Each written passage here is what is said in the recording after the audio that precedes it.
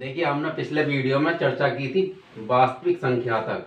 अब हम आगे इससे चलते हैं और इसमें क्या सीखेंगे? हम वास्तविक संख्याएँ और उनके दशमलव प्रसार। तो इसमें क्या आता है कि पहले आता है, पहले नंबर पर शांत।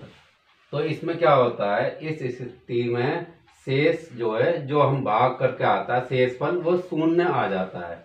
वो कैसा आता है? अब जैसे मान लीजिए एक बटा दो लिखा है कहीं। तो अगर हम उसे हल करेंगे तो एक एक को भाग देंगे दो से। तो दो जो है एक से बड़ा है तो क्या करेंगे? ज़ीरो लगाएँगे।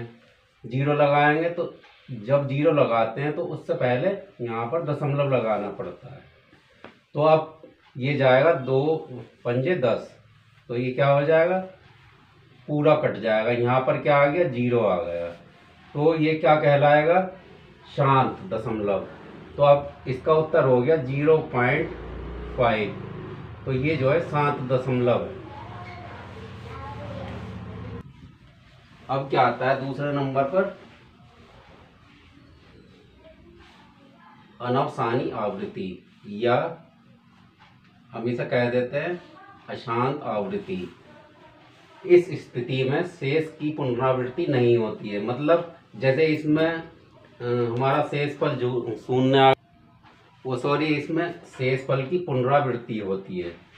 अब वो कैसे हम ढूंढेंगे कि शेष फल की पुनरावृत्ति हो रही है। अब जैसे मान लीजिए, अब ये हम करके दिखाते हैं आपको। एक बटा तीन है। तो अब इसे हम सॉल्व करते हैं। अब क्या? तीन। तीन को तीन से हम एक को भाग देंगे। अब तीन बड़ा है और एक छोटा है तो क्या करेंगे? ज़ीरो लगाएँगे यहाँ। ज़ीरो लगाने के बाद में क्या?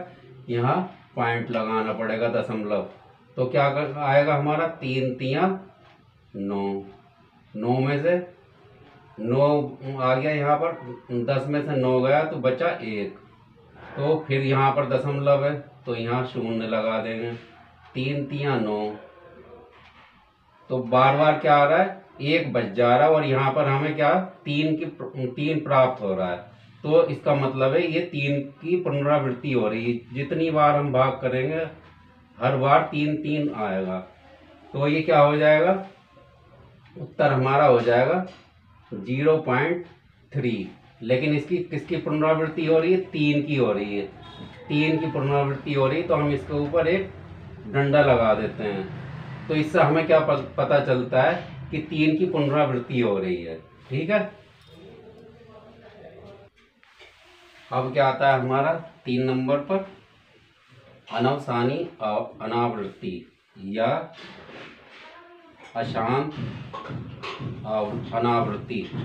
इसमें क्या होता है? इस स्थिति में शेष की पुनरावृत्ति नहीं होती है। जैसे ये इसमें तीन की पुनरावृत्ति हो रही थी बार बार, तीन आएगा, बार बार तीन आ रहा था। इसमें क्या होता है, ये पोजिशन नहीं होती है। इसकी पुनरावृत्ति नहीं होती है। तो इसे हम कैसे देखेंगे? जैसे मान लीजिए हम दो बटा सात का हम ढूंढ देखते हैं, को हल करते हैं, दो बटा सात। ठीक है?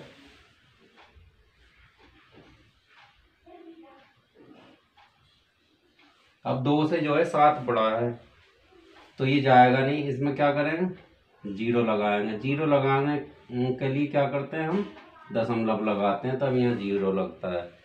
तो सात दूनी चौदह। यहाँ हमारा क्या बचा? छ बचा। यहाँ दशमलव लगा हुआ है, यहाँ ज़ीरो लगाएँगे। तो सात सत्ते उनचास। काटो भाई। तो अब हमने ज़ीरो लगाया तो ये क्या हो गया? साठ। तो हम सात का पहाड़ा पड़ेंगे। कितनी बार जाएगा? आठ सत्ते छप्पन। क्या बचा है यहाँ? चार। ज़ीरो लगाएँगे। पाँच सत्ते पैंतीस।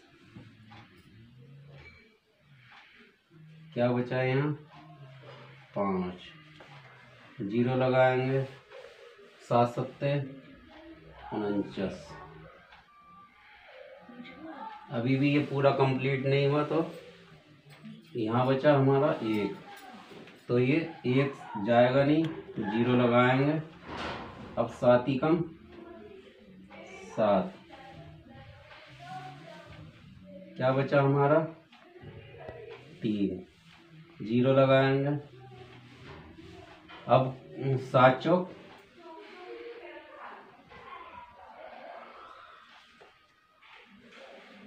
अट्ठाईस। अब दो बचा। अब इसका मतलब क्या है? कोई भी इसमें शांत स्थिति नहीं आ रही है। हर बार कोई ना कोई अलग ही शेषफल बचता है और अलग ही यहाँ पर उत्तर आता है। तो अब क्या है? ये अशांत है। अब इसका उत्तर क्या हो जाएगा? Zero point two eight five seven one four और ये इसके ऊपर डंडा। अब जब ये कई सारी डिजिट है, संख्याएँ हैं तो इसके ऊपर हम सबके ऊपर डंडा लगाएँगे और ये इसका मतलब क्या हो जाएगा? ये अशांत अनावृत्ति है। इस वीडियो में हमने दशमलव प्रसार सीख लिए हैं, ठीक है? और आगे का परिचय हम जो है अपनी अगली वीडियो में करेंगे।